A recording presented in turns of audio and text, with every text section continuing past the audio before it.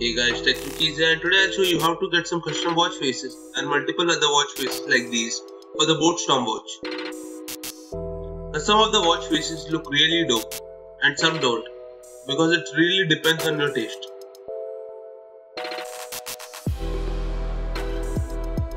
If you haven't watched our previous videos, we recently did an unboxing and full review of the Boat Storm watch. So if you wanna watch the video then I'll leave a link in the description for it. You can go ahead and check it out.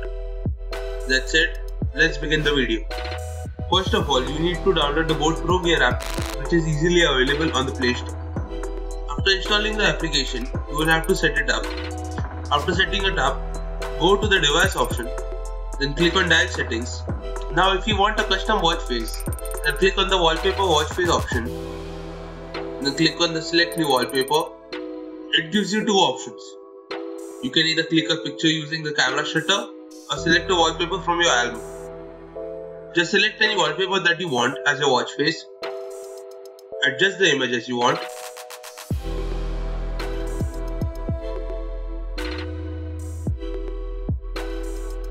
Then click on the set watch face option.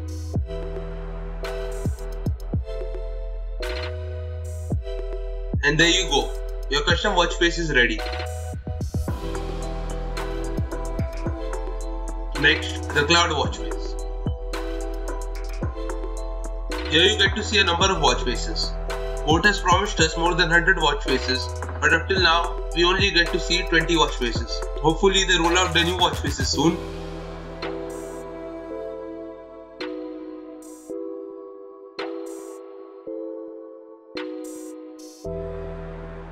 If you don't see an option for CloudWatch face, then you need to check your firmware version.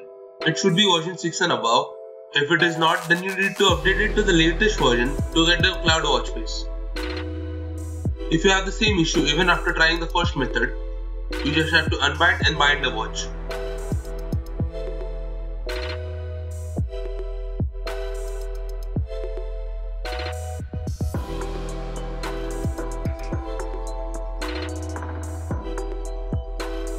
If that also doesn't work, simply uninstall and install the Boat Pro Gear app again. This should hopefully solve the problem. That's it for today. Leave a like if this video helped you and comment down if you have any doubts. Also don't forget to hit the subscribe button for more content like this. See you in the next one.